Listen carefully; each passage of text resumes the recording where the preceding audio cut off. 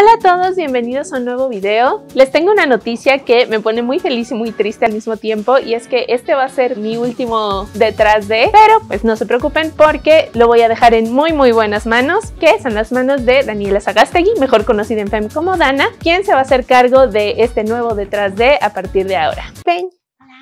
Bueno, ella es Dana, la verdad es que es una chava súper chida, la conozco desde la universidad, sabe muchísimo de series, muchísimo de cine, va a hacer un trabajo excelente en este detrás de. Y bueno, cuéntanos de qué va a ser tu primer detrás de. Bueno, pues en esta ocasión vamos a hablar de Sophie, un asesinato en West Crook, que se va a estrenar este 30 de junio en Netflix y que reabre este impactante caso ocurrido precisamente en una localidad de Irlanda a finales o mediados más bien de los 90.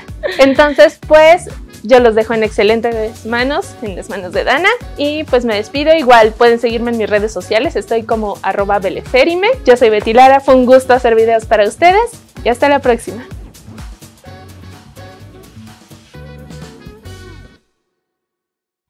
¿Quién era Sophie Toscan Duplantier? Justo en la víspera de Navidad de 1996, se encontró en la ciudad de Tormore, en el condado de Cork, el cuerpo de la productora francesa Sophie Toscan Duplantier. Esto fue eh, un descubrimiento pues, realizado por una de sus vecinas y la verdad es que fue muy impactante por la naturaleza del crimen. Duplantier había visitado varias veces Irlanda en vacaciones familiares con sus amigos, de ahí le nació cierto cariño por el lugar, lo que hizo que en 1993 quisiera comprar una casa de campo de vacaciones, ya saben, esas cosas que la gente con dinero sí puede hacer, en el condado de Shul, muy cerca de Tormore. Sophie vivía en París con su marido, Daniel Toscan Duplantier, y el hijo de su primer matrimonio. Así, decidió hacer un viaje en solitario en el año de 1996, previo a Navidad. Sin embargo, pues su cuerpo fue encontrado la mañana del 23 de diciembre por una vecina, Shirley Foster. La verdad es que la situación sí se pone bastante cruda. De hecho, pues una de las pruebas del caso, las evidencias que encontraron una pizarra negra ensangrentada que supuestamente habría sido el arma ¿no? con la cual le quitaron la vida a Sophie Toscan. La patóloga no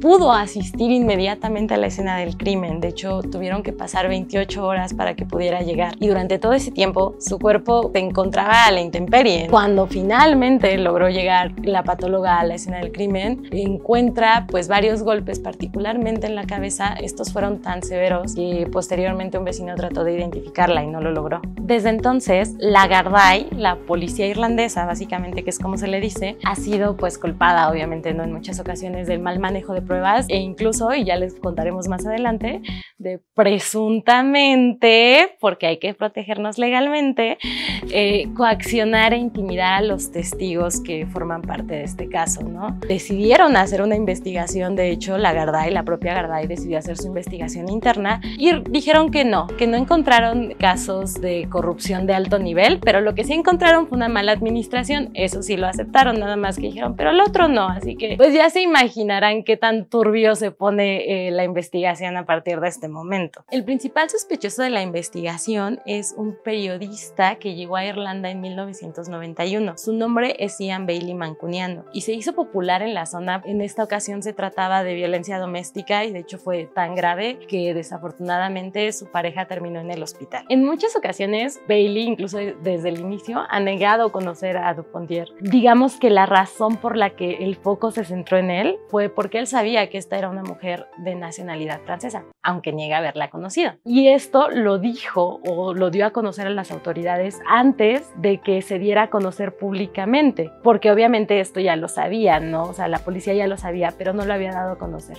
Poco después, y otro de los motivos por los cuales también también eh, Bailey fue señalado como el principal sospechoso desde el inicio de la investigación, es que presentaba rasguños en su antebrazo. Incluso tenía un fuerte golpe en la frente y él aseguró, dijo, no, no, no, no, no, es que miren, yo fui a talar mi propio árbol de Navidad y de ahí se me hizo eso. La realidad, y pues para su terrible suerte, por así decirlo, es que hay testigos que dicen que estuvieron con Bailey el día que él dice que él fue a cortar el árbol, que fue el 22 de diciembre. Y ellos aseguran que no encontraron ni rasguños, ni golpes, ni cualquier otra herida. Entonces esto también pues encendió los foquitos, ¿no? De la garda irlandesa. Y pues también la garda a partir de ese momento desecha o desestima muchas otras posibles líneas de investigación. Mientras estaba bajo investigación, lo peor de todo es que el periodista dijo, bueno, ¿qué puedo hacer para mostrar mi inocencia? Y su idea fue más terrible de lo que se pueden imaginar. Básicamente empezó a hacer un blog argumentando que Dupontier tenía múltiples compañeros sexuales porque eso obviamente es muy importante y encima de eso trataba de mover la investigación de Cort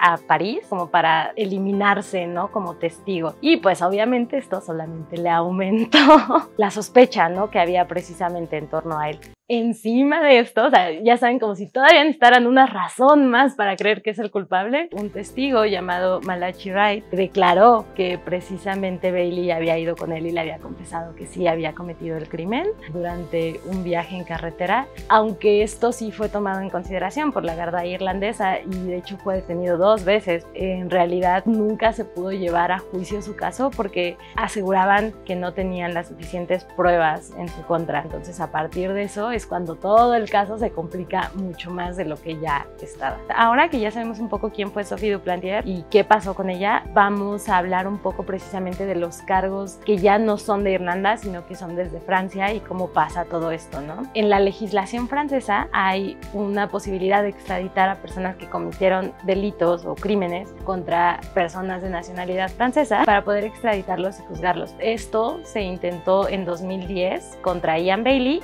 La familia decidió abrir su propia asociación para investigar el caso como tal. Así se tramitó precisamente esta orden de extradición y pues todo muy padre, ¿no? O sea, ya finalmente se iba a poder hacer este juicio, pero ¿qué creen? Pues no, que Bailey presenta una apelación ante la Suprema Corte y le es concedida. ¿Por qué? Porque Francia no tenía la intención de juzgarlo en este momento y eso es algo que sí se requiere al momento de pues hacer precisamente esta petición. Y ya por si todo esta cuestión legal fuera suficiente, resulta que todavía hay más. Desafortunadamente, en este tipo de casos también existe esa cuestión de reciprocidad. Entonces, en teoría, Irlanda no podía conceder esta extradición porque él no es irlandés, en realidad él es inglés. Entonces ahí Irlanda se metía en todo un lío legal porque sí, el crimen se cometió en su territorio, pero los involucrados pues no son ciudadanos. Y luego en 2017, pues que creen que ya finalmente lograron conseguir la orden de extradición. Entonces ya van, se la llevan a ver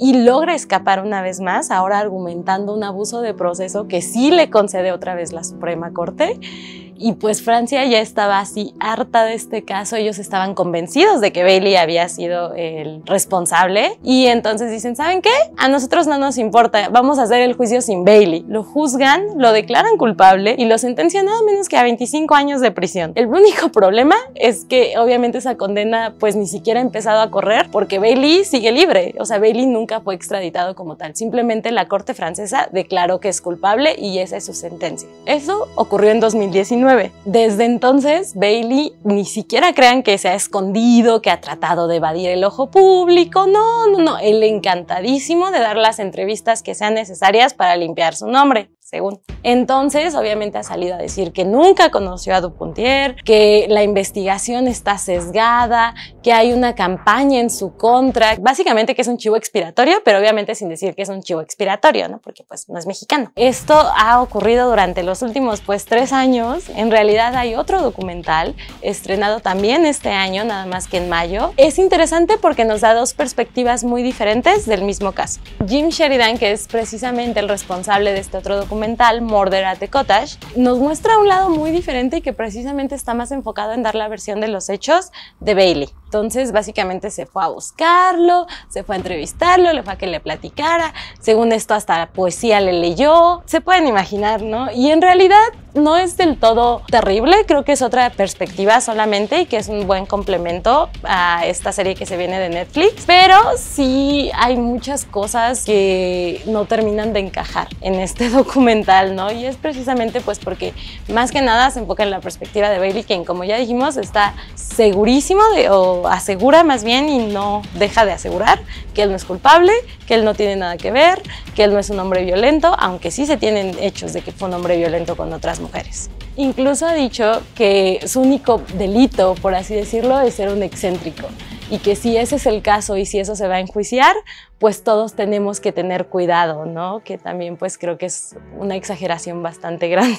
Y bueno, una de las cosas muy importantes de este documental es precisamente que señala algunas de las inconsistencias en el manejo de la investigación. Una de ellas viene de Mary Ferrell, quien fue la primera persona en identificar y posicionar a Bailey en la zona donde ocurrió el crimen. Años después, María Ferrell se retractó varias veces de esta declaración diciendo que en realidad ella fue intimidada y que fue coercionada por el equipo de investigación, porque en realidad ella asegura que el hombre al que vio era alguien de Oriente Medio, ya saben, ¿no? Igualmente, y esto sí es en el documental de Dauer, algo bien interesante es que explica que muchos de los residentes de la localidad, de los lugareños, revela que ya le tenían cierta roña a Bailey, tanto por el caso de violencia doméstica previamente, como por muchas otras razones, ¿no? Que en realidad tienen más que ver con su carácter, con su forma de ser, con ciertos sospechosismos porque era un extranjero. Y pues es interesante porque muchos de ellos estaban dispuestos a creer que él había sido culpable del homicidio incluso antes de que se cometiera el homicidio. El hijo de Duplantier, de hecho, ha ya salido en varias ocasiones a decir precisamente que pues está claro quién lo hizo, que él no tiene ninguna duda, que él sigue esperando justicia porque pues a casi 30 años está, aún no ha llegado para la familia. Y en el documental de Netflix lo vemos otra vez eh, haciendo estas declaraciones e incluso diciendo que el documental es la prueba final de que Bailey es el culpable. Y bueno, aunque a nosotras sí nos convence, tampoco podemos decir que el documental es la prueba definitiva. Más que nada porque, como sabemos, siempre hay esta selección ¿no? de información, no puedes cubrir totalmente todo y finalmente pues eso le corresponde a un juzgado. Sin embargo, lo que sí podemos decir, los dos documentales nos dejan clarísimo que este hecho fue muy mal manejado, que evidentemente todavía hay una familia que sigue esperando justicia, como ya dijimos, y no la ha podido obtener incluso ahora, incluso después de que, digamos, un tribunal ya declarara la culpabilidad de Bailey, no se ha podido lograr la captura y detención de este individuo. Y pues incluso más allá de eso, a nosotros sí nos deja, la verdad, con muchas más dudas que respuestas. Por eso nos encantaría que nos dijeran ustedes qué creen, si creen que lo hizo, tienen a otra persona en mente, cuáles son sus teorías de la conspiración en este caso. Nos encantaría leerlos acá abajo. Yo voy a estar encantada de este episodio, la verdad, porque a mí siempre me encanta hablar de series con mis amigos, con mis amigas, con la familia, con quien sea que me escuche. Así que muchas gracias por escucharme y no se olviden de comentar, suscribirse a nuestro canal canal y activar la campanita para estar al pendiente de los videos que subamos. Muchas gracias y fue todo un gusto.